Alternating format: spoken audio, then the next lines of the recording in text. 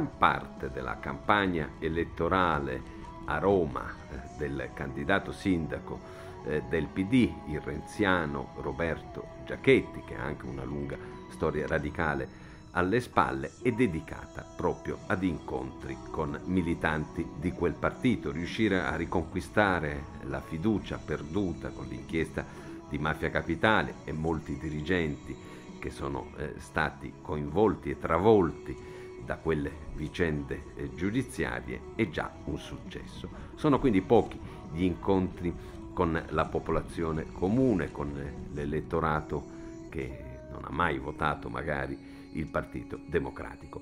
Uno di questi è avvenuto al Trullo, uno dei quartieri quasi periferici eh, della capitale, dove ha incontrato i cittadini, che gliele hanno cantate, le hanno cantate più che a lui, ai eh, responsabili del PD eh, di quel municipio, e Giacchetti ha risposto sostanzialmente senza fare alcuna promessa. Ecco qualche flash di quell'incontro.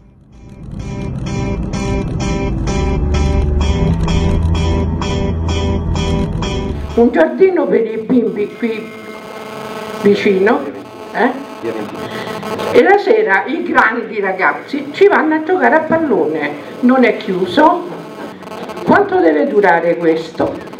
Cadono gli alberi, aspettiamo i mesi. Vanno a fuoco gli alberi? Per carità dobbiamo cambiare e chiamare i pompieri e farci compito di vedere che cosa fanno. Non, non siamo tutelati da nessuno il progetto al di fuori degli alberi dove passano i fili dell'alta tensione. Il campetto che voi vorreste fare passa invece sui fili dell'alta tensione. Gli alberi non vengono potati, prendono a fuoco, ce n'è uno che sta per cadere.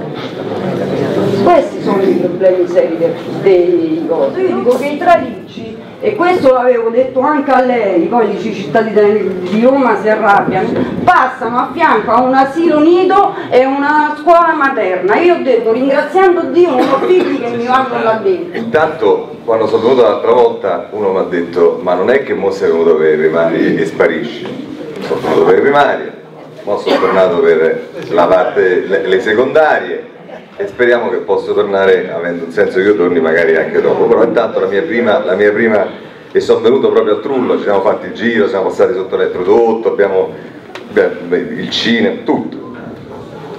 Addirittura mi ricordo il problema dei negozietti che vendono la frutta che si stanno prendendo tutta la parte fuori e mettono le cassette fino a 4 metri sopra. Vedi che mi ricordo? Beh voi state parlando del Trullo 25.000 abitanti. Questo è un municipio, quello che amministra il presidente Veloccia, che se non sbaglio ce n'ha più di 150.000. Ho scoperto l'altro giorno che ci sta il settimo municipio che supera i 300.000 ed è ha la stessa popolazione di Bonn. Altri municipi hanno popolazioni come questa che sono più grandi di città italiane. Se io dico domani mi impegno entro tre mesi che toglieremo l'elettrodotto e tutto è, è del tutto evidente che questo crea un'aspettativa. Poi io so perfettamente perché le ragioni le conosciamo anche se è chiaro che io me lo piglio subito l'impegno per vedere comunque che un tavolo con, ehm, con FS e, e con Terna per, almeno per ricominciare a capire come rimettere insieme le fila. Però sappiamo ragazzi senza ci vediamo in giro che questa non è una cosa che si risolve in 5 minuti.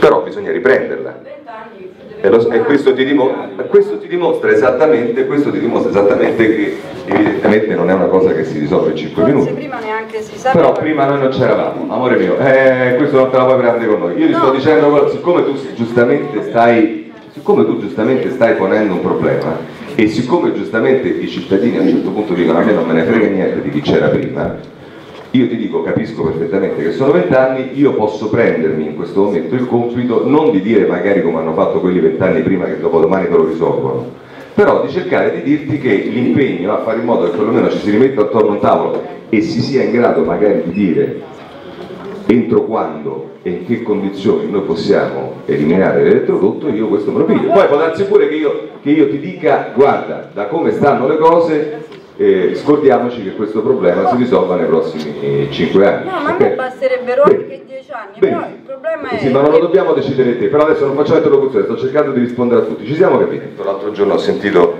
eh, se non sbaglio, la, la mia... Mh, mm, mh, mm, insomma, la, la, la, la candidata sindaca che, che, ha detto, che, ha detto, che il problema della movida in qualche modo è un problema di ordine pubblico che va risolto. Ma vi siete mai domandati perché esiste la movida? Cioè perché migliaia, decine di migliaia di ragazzi si spostano dalla periferia e vengono verso il centro e poi inevitabilmente si creano anche delle dinamiche da ordine pubblico? Ma semplicemente perché le nostre periferie sono lande desolate, io sono convinto che se noi creassimo le condizioni per cui un ragazzo di Torbella Monaca, di Ponte di Nona, di Sette Bagni, di non so dove, avesse sul suo territorio una scuola di teatro piuttosto che eh, un concerto, piuttosto che un accordo con il teatro dell'opera per fare, o so, il conservatorio di Santa Cecilia per fare, oppure un concerto rock, perché se, se ci fosse qualcosa in base al quale il ragazzo di lì non è costretto a farsi 15 km per poter venire a divertirsi, io sono convinto che il ragazzo di Torbella Monaca verrebbe tranquillamente a Roma perché si va a vedere come è giusto che sia, come ci vado io che abito a Monteverde, la mostra alle scuderie del Quirinale, si va a vedere i fori imperiali perché gli piace, ma è chiaro che noi abbiamo una tendenza a venire verso il centro perché le periferie sono abbandonate e desolate. E se a me mi piove dentro casa, io perché devo pagare il canone? È chiaro che non gli posso dire ragione però è il serpente che si morde la coda perché quello ti dice tu non mi dai quello che dovresti dare e io non ti do quello che ti dovrei dare. Allora intanto io per esempio ho detto che certamente aprirò un tavolo con il governo